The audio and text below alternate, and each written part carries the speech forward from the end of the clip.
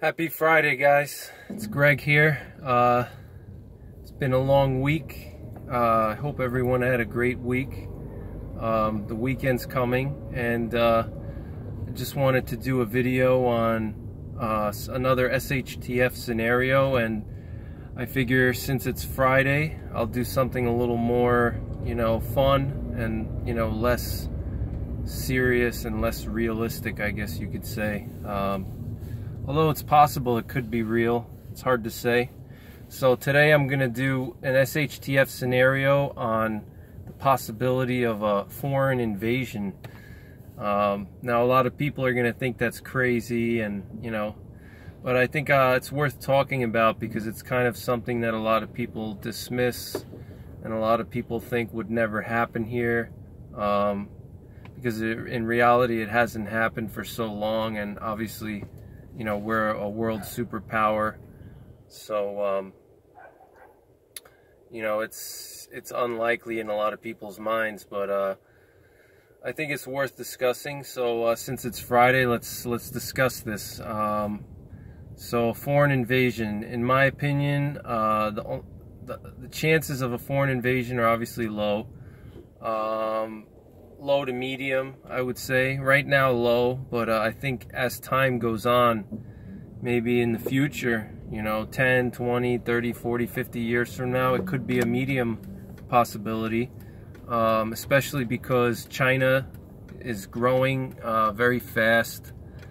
Uh, their their economic uh, their economy is booming. You know, their GDP is growing. They have a lot of technological innovations and they have a lot of dominance in you know technology uh, especially you know a lot of they have a big presence in different parts of the world. Um, you know they're mining for resources around the globe. You know they're they're buying up land in Africa and mining up gold over there um, they're just uh, a monstrous uh, country in terms of economy and, and population. Um, so I do feel that, you know, in the future, it's possible that China would be a threat to us potentially, you know, because they're growing so much. And combined with an alliance with Russia, you know, and other bad uh, countries out there like Iran, you know, the, the, the alliance of all of those countries together could potentially, you know, cause a, a create an opportunity for a foreign invasion. Um, so how do I think this would go down? I think that uh, if there were a for so first of all, if there was a foreign invasion, how would you respond to that? You know, how would you handle a foreign invasion? What would you do? You know, have you ever considered that in your prepping? You know, have you thought about how you would respond if there was, you know, foreign troops landing in your neighborhood or, you know, foreign, uh, you know, tank battalions cruising through your, you know, your backyard? You know, have you ever thought about how you would uh, respond to that? You know, where would you go? How would you protect your family? How would you protect your neighbors? You know, how, uh, how would you wage war and, and you know protect our republic against the foreign invasion? Um, and a, high, uh, what I recommend is, is that you study a lot of the uh, guerrilla warfare manuals put out by the military. You know, you can download them for free online. Um, you can you can read about you know the different guerrilla warfare tactics and and uh, you know different ways that you can wage uh, unconventional war because in if there was ever a foreign invasion if there was ever any country that was powerful enough or any alliance or any you know alien you know species that would ever invade the United States they would have to have some serious manpower some serious firepower you know some serious resources man uh, you know for them to invade the U.S. for anything, any country, any, you know,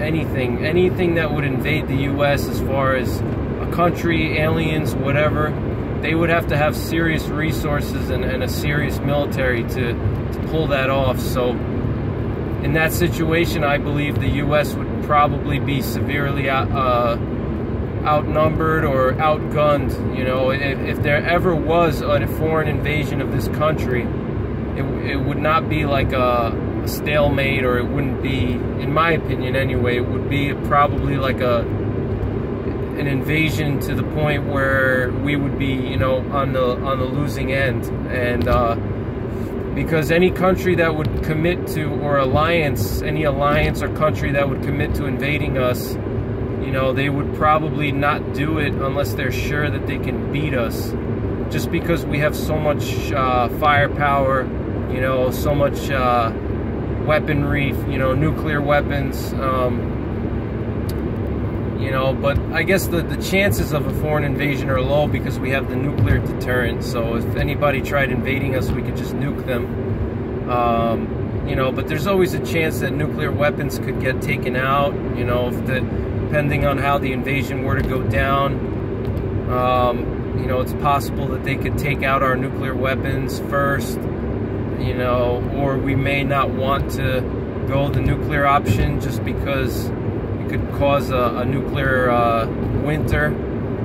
So that's something also to keep in mind as well. That you know, just because we have nukes, you know, it doesn't mean that we could just let 5,000 nukes rip across the world. You know, if we let them rip, you know, that could cause a nuclear winter. So likely, if we were to do a nuclear uh, retaliation, it would be very targeted and very strategic. You know, it would be uh, it would be targeting the the invading countries. You know, capital, their infrastructure, their military infrastructure, their power systems, you know, it wouldn't be like, you know, yeah, we're just going to obliterate this whole country with thousands of nukes. You can't do that because that would be self-destructive. You know, we would wipe ourselves off the map, you know, with uh, nuclear winters. So it's something to consider, you know. Um, so, so think about, you know, how would you react in that situation. Now, if you guys ever watched uh, Red Dawn, obviously, you know, this was already played out in Red Dawn, and then there was also another, uh, uh, uh a, a, second Red Dawn that was made in 2012 with uh, Chris Hemsworth, you know, the guy who plays Thor, and, uh, you know, he played the role of Patrick Swayze's character from the original Red Dawn and basically the the, the storyline behind that one was that North Korea launched the EMP and you know hit the U.S. with an EMP, and then you know Russia and China banded together and they invaded us from both sides of the coast. You know, so Russia invaded from the east coast and China invaded from the west coast, and you know North Korea and China invaded from the west and Russia from the east. And that was already after Russia took over Europe, and then they uh, they squeezed us, you know, from both sides of the coasts, and uh, you know, basically, although the United States is a big country, if you think about it, most of our major cities and critical um, population centers are on the coasts.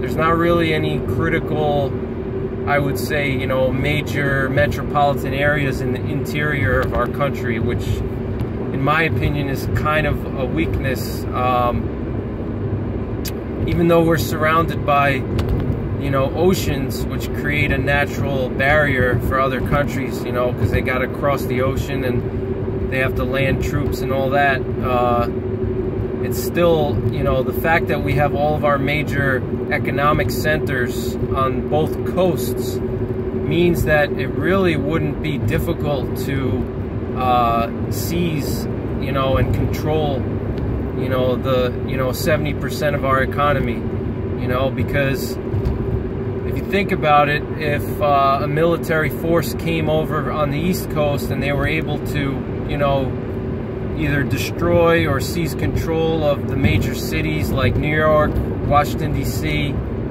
you know, and then on the West Coast, if they see, you know, seize like Los Angeles and San Diego and those areas there, you know, they're pretty much, you know, and then maybe some areas of, of Texas, you know, on the Gulf Coast there, they're pretty much going to be controlling a large percentage of our economy and that's where our financial center is located in New York City. Has the, you know, the largest financial uh, district in the whole country. You know, Boston is they have another one in Chicago, but New York City is obviously like the headquarters, if you would say.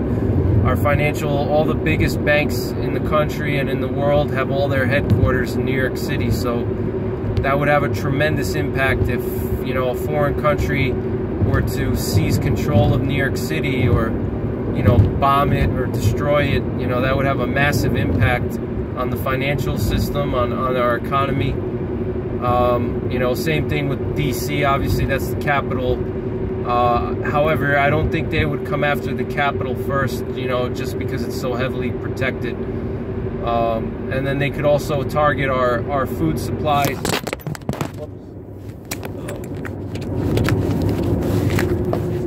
Sorry, guys.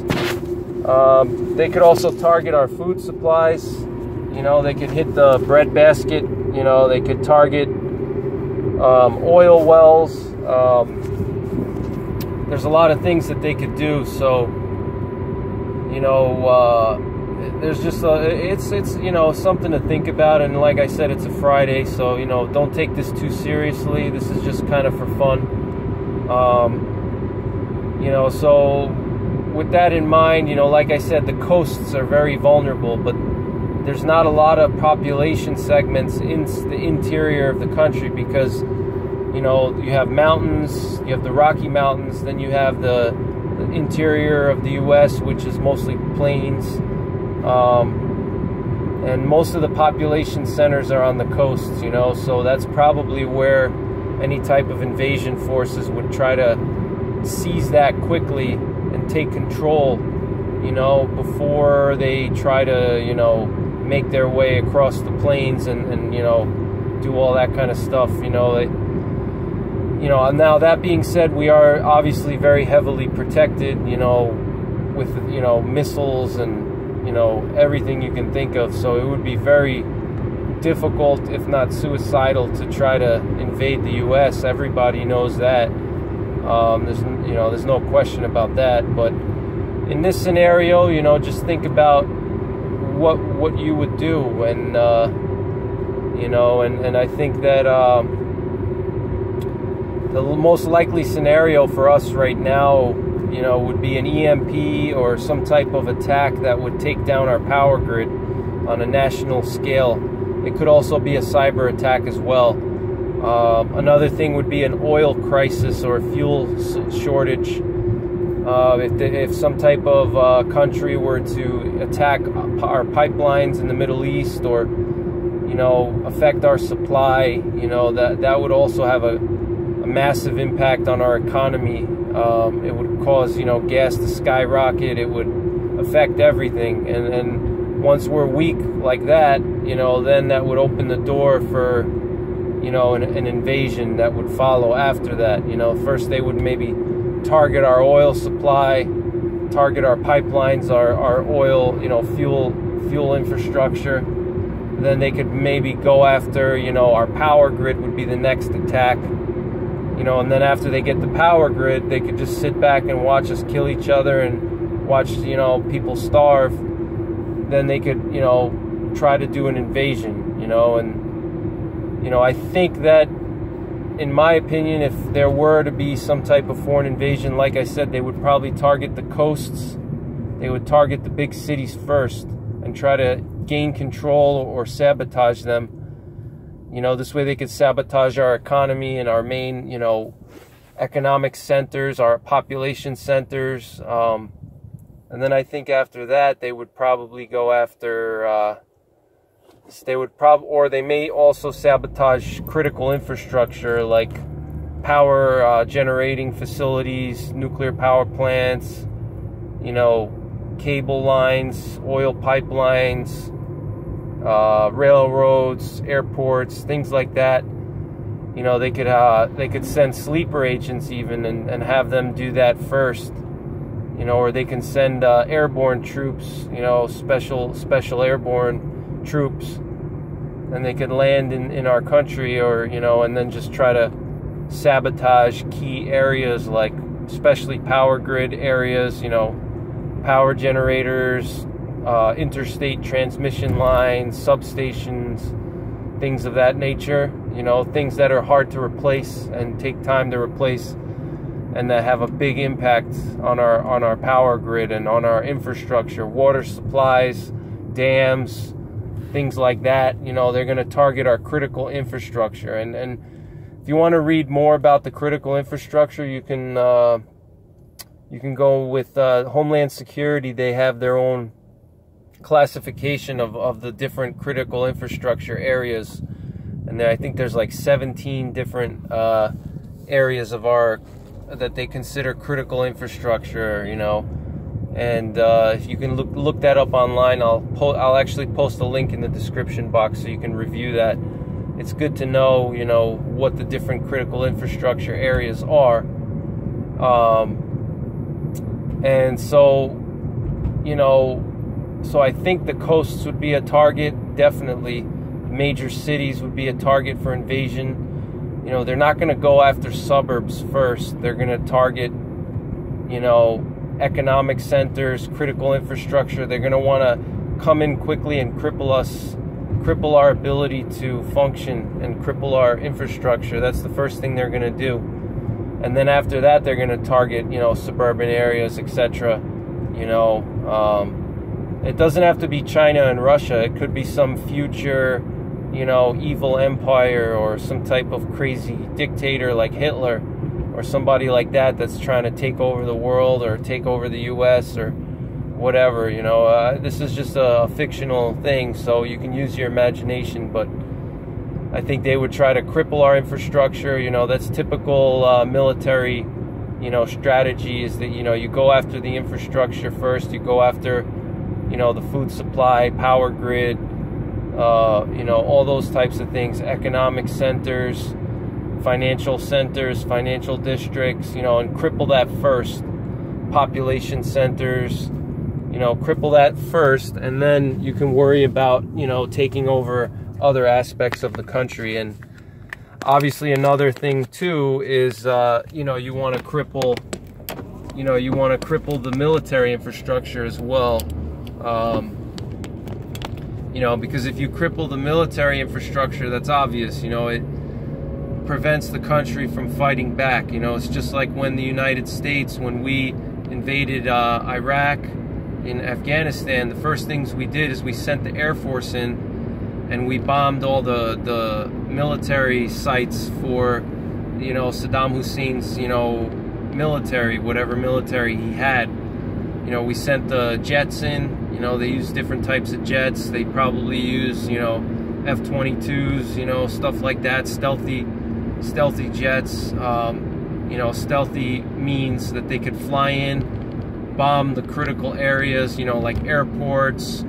You know, military uh, installations, bases, uh, especially.